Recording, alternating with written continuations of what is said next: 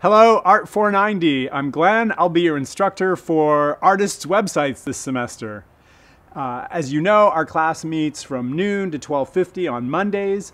Uh, the good news, I think, is that of all the classes in the School of Art that are grappling with, you know, being taught remotely because obviously of the pandemic, I think our class will suffer the least from that. It is always nice to be face to face, obviously, but we have a class that's now going to be an online class in uh, creating online content, in building a website for yourself, an e-portfolio to present your work to the world. So I think the online format can work well for us and really help us develop great portfolios. Um, we have, I think, people at a few different levels in their time in the School of Art, but the majority of you are graduating seniors. For a lot of you, this is going to be your last semester this semester and then out into that world.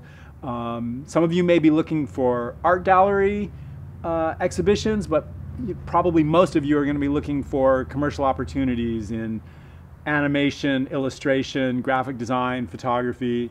You know, we may have someone from metals, fiber, across the spectrum of the School of Art, but I think the majority of you uh, we'll be looking for commercial opportunities. If you are looking for gallery work, that's great. We can build that portfolio as well. But whatever your interests are, and one of our goals will be to help you whittle through all the things you've done during your time at the School of Art and come down to what it is that you want to present to the world uh, to make those connections.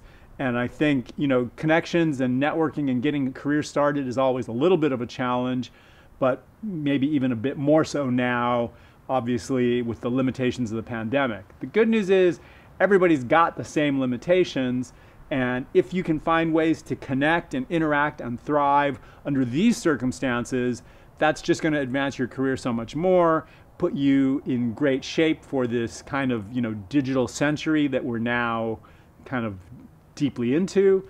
Um, so I think it's going to all work well, and I hope we can really come up with some portfolios that present you well, present your work to the world. Um, I'd like to invite you to a totally optional.